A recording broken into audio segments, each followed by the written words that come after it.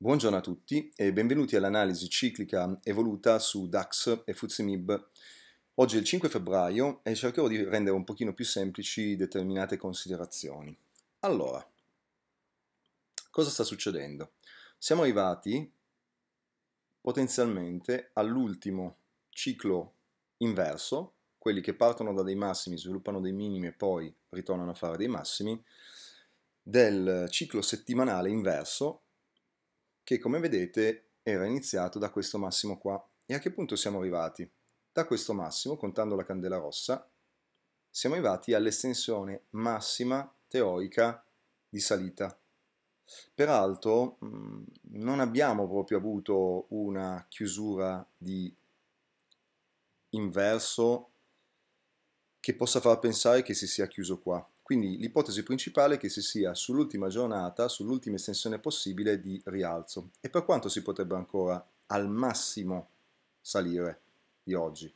Si potrebbe arrivare come al solito a 44 barre, ovvero fino a qua, fino alle 11.45. Per cui fino alle 11.45 si possono aggiornare i massimi ed eventualmente si può arrivare al primo dei livelli di algoritmo che eh, darò appunto al al gruppo che coordino su Facebook. Successivamente però andremo a vedere dove si sarà ferm, um, fatto un minimo importante rispetto agli altri. In questo momento potrebbe essere questo, lo swing inverso a 22.896, ma dobbiamo vedere che cosa succede nel resto della giornata e almeno fino alle 44 barre e valuteremo in violazione di quello eventualmente uno short. Perché andare a fare uno short? Perché dovrebbe partire almeno un nuovo T inverso, ovvero un nuovo ciclo settimanale inverso, piuttosto che un T più 1 inverso e portare una discesa per i giorni minimi per farla iniziare appunto questo sottociclo. Vi faccio peraltro notare che con questa salita siamo andati già a vincolare a ribasso, ovvero rialzo di indice, anche questo T più 2 che è arrivato a 20 giorni su minimo 24 e potrebbe fare un tre tempi. Per quanto riguarda il DAX, considerazioni molto semplici. Anche in questo caso, qui ci potrebbe essere una partenza di terzo T inverso, ma per chiudere un T più 1 serve un sottociclo di 3 gradi inferiori, ovvero per chiudere un T più 1 inverso servirebbe un T, T-1, T-2, un 2 giorni di rialzo di indice.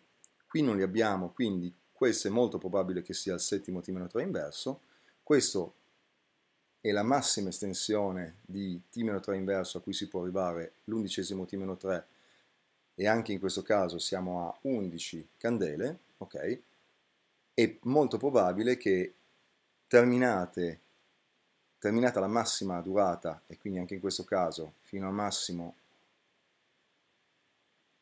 le 11.45 di oggi si possa provare ancora ad aggiornare i massimi per arrivare in questo caso a questo livello di algoritmo a 14.114, ma che se non ci arriveremo e inizieremo ad aggiornare i minimi bisognerà andare a cercare uno swing inverso per valutare appunto di fare lo short dopo le 10.01.